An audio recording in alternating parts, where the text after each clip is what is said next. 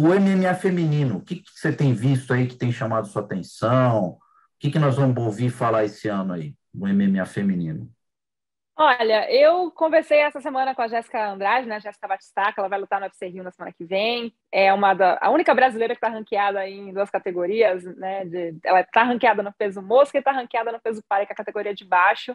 Vai enfrentar a Lauren Murphy no Rio, que é uma luta importante para a categoria peso mosca, mas está de olho no cinturão na categoria de baixo, que é o peso palha. Isso é uma coisa que me chamou um pouco a atenção, que a gente não vê geralmente uma pessoa que consegue ficar chegando quase na cabeça de dois rankings. Já é difícil você entrar em um ranking do UFC, imagina em dois, né?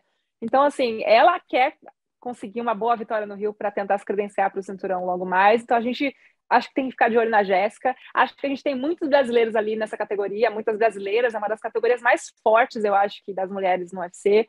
E a gente tem boas representantes em todas elas, né? Claro que eu não posso esquecer da Amanda Nunes, campeã do peso do peso, olha o palha, olha gente. Campeã uhum. do peso pena e campeã do peso galo, né? A única mulher a conquistar dois cinturões né? no, no UFC e na história.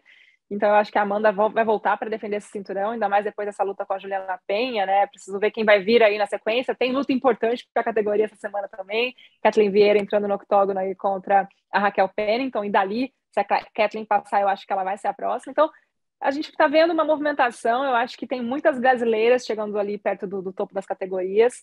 E eu acho que a gente vai ter que ficar de olho ali, porque eu tenho certeza que a gente vai ter ali muitas mulheres indo para a disputa de cinturão, muitas brasileiras, né? E, e, tentar ver como é que isso vai se manter, né? A Amanda continua sendo um nome muito forte, não tem, não tem nem o que dizer com relação a isso.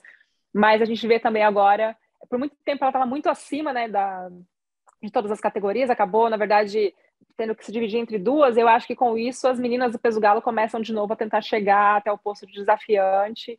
E aí a gente tem que ver essa flutu... quando, quando a pessoa flutua entre dois pesos, né, corte de peso e tal, como é que isso vai influenciar depois na performance, né? Então eu tô curiosa, eu acho que vai ser um ano bom para o Brasil e eu acho que as meninas brasileiras têm muito a, mostrar no octógono esse ano. Fala pessoal, meu nome é Fábio Kiyotakawa, sou professor de Jiu-Jitsu pesquisador da história do jiu-jitsu vale tudo MMA e também dirigi vários documentários sobre esse tema. Estou aqui para convidar vocês para participar do meu curso da história do jiu-jitsu e MMA. Você que é fã de artes marciais, é praticante e acha que é muito mais importante é, os aspectos filosóficos de transformação que a arte marcial pode trazer, esse curso é ideal para você.